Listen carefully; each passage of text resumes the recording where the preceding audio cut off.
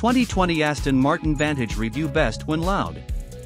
It's been a little while since I've been behind the wheel of the new Vantage, which just a few years on doesn't feel quite so new any longer.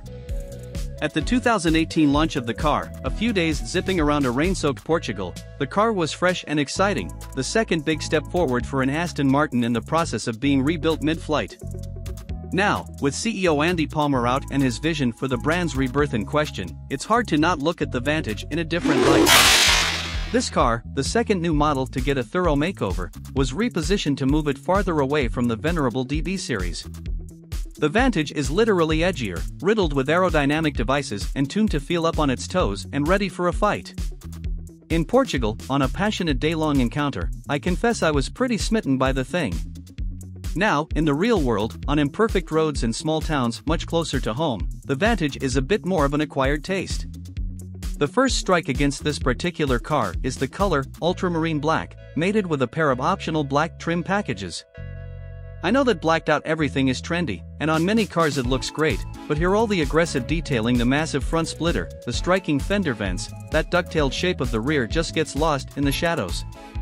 In some ways that's for the best, as the plastic shrouding round the exhausts is a bit much much and this color package effectively mutes it, and viewed up close in direct sunlight, that ultramarine paint does have a lovely sapphire glint.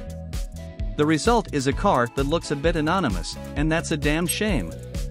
I was completely smitten by the eye-searing new Vantage the first time I saw it in the flesh. This one would be easy to lose in a parking lot.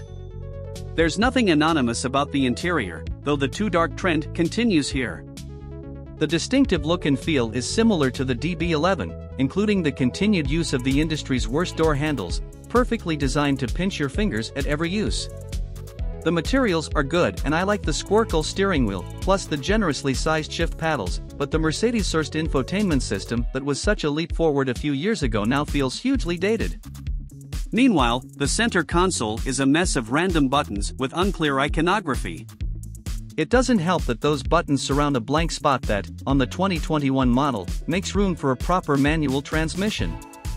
Alas what we have here in this car is an 8-speed auto, that's actually not as bad as it sounds. I have few complaints about how the hardware performs, shifting smoothly about town and delivering rapid-fire performance when you reach for those column-mounted paddles. Indeed, when found in a Mercedes-Benz, this transmission does a wonderful job. Here, it's seemingly been programmed with economy in mind, as if this ultra-aggressive sports car thinks you're on a hypermiling run. In sport mode, the Vantage hops up to 8th gear at just 45 miles per hour. Even in Sport Plus mode the car seems determined to keep the V8 at idle.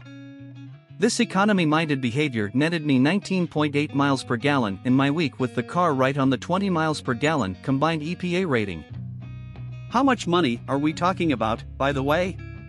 The starting price of a 2020 Aston Martin Vantage Coupe is $149,995 and, for that, the car comes relatively well equipped, including the infotainment system, 360 degree camera, and the 8 way power sports seats. You really don't have to tick any boxes here, which is a rarity in this segment. Other than a heated steering wheel and a premium sound system, I probably wouldn't tick many boxes. That said, the desaturated example you see here carries roughly $17,000 in cosmetic upgrades, mostly for that black trim plus the wheels and exhaust. Add that to a $3,086 destination charge and you're looking at a suggested retail price of $170,609. Far from a bargain, but if you're someone who prizes rarity, pedigree and exotic looks, the Vantage comes in well below other supersport exotics like the McLaren 570 GT and indeed Aston's own DB11. The Vantage stands apart from the crowd and no longer gets lost in its own family portraits. Just make sure you have room to let it run before you add one to your own family.